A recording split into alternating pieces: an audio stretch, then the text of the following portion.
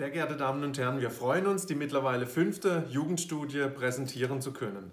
Dazu wurden 2300 Jugendliche befragt und haben uns interessante Einblicke in ihre Lebenswelten gegeben und damit auch eine gute Grundlage für politische Entscheidungen.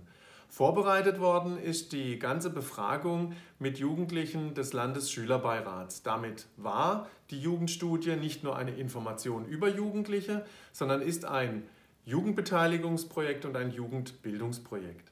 Themen der Befragung waren Freundschaft, Geld, Medien, Schule, Freizeit, Engagement, Werte und die Zukunft der Jugendlichen. Und neue Themen sind in diesem Jahr zum einen Politik und Du. Jugendliche sind an Politik interessiert und wollen mitgestalten.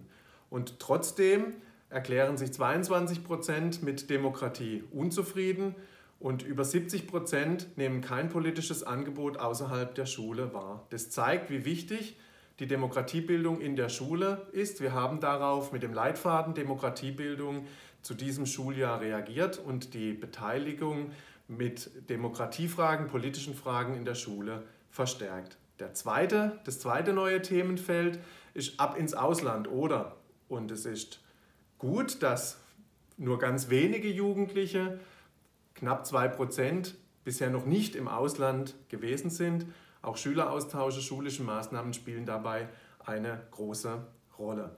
Erfreulich ist für uns im Kultusministerium, dass sich über 80 Prozent der Jugendlichen mit der Schule in der Schule wohlfühlen und sogar über 84 Prozent sich in ihrer Klasse wohlfühlen. Eine gute Anerkennung für die Arbeit der Lehrerinnen und Lehrer.